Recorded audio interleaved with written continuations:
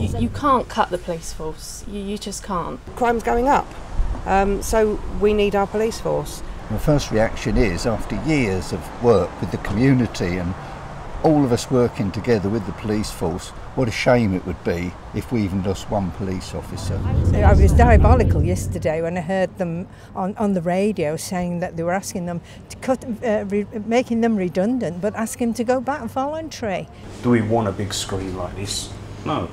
We want to greet our public, our customers as they come in, but we can't. We've got to have this, I've got to spend money on a dog because we're, we're frightened because there's not enough police out there. Community officers, it's unfair on them really because they they've been told to knock off at 10 o'clock at the night. Well, I'm sorry, it's after that time we need a policeman. It's a nice place to actually say that you live because we've made it that way with the police.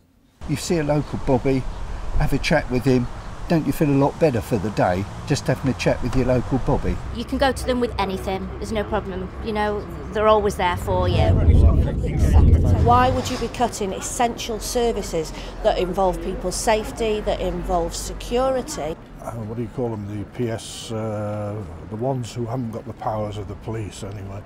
Um, perhaps, you know, if they're going to cut, cut them. I would say put more money back into it and keep the police as they are and not decrease it. We can't afford to decrease the policing on the ground, to be honest with you. You know, some people are born policemen, they're born firemen, they're born nurses.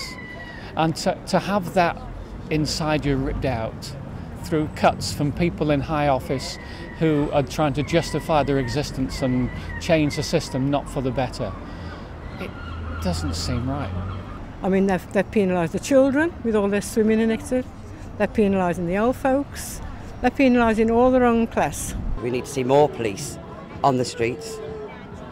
You know, not take them off, put more on. Can you imagine a world without the Met Police? It would be chaos, wouldn't it? Um, I grew up in the East End of London having a real negative vibe about the police, but I started to engage with the police when I was about 17 through a sporting programme and I actually saw a different side to them. I know the government are saying we've got to tighten our belt, but we're tightening our belt in the wrong places. Or if there's cuts to be made, they need to be looked at in different areas, certainly not with the emergency services.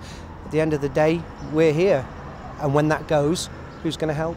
I'd say to the Home Secretary to come and live here and then we'd take the police away and see how she goes on in the next two years.